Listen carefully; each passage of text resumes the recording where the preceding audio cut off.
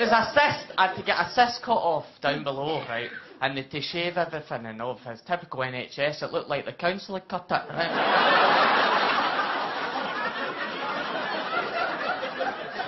so I had to fill in a pre-ass. Is there any medical people in?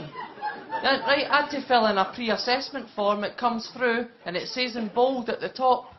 When coming into hospital as an inpatient, take all your medicines and tablets. Huh? I OD'd.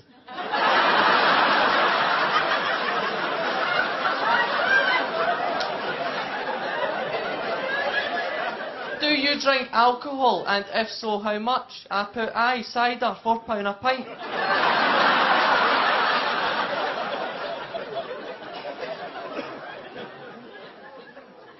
Says, have you ever had an STI? I put no, but I do currently drive a one litre Astra.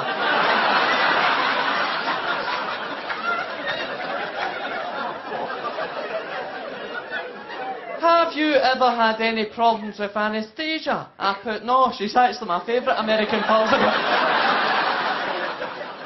And finally, it says, Do you have any medical history? Do you have any medical history? I said, My medical history isn't great, but I do know that Alexander Fleming discovered penicillin.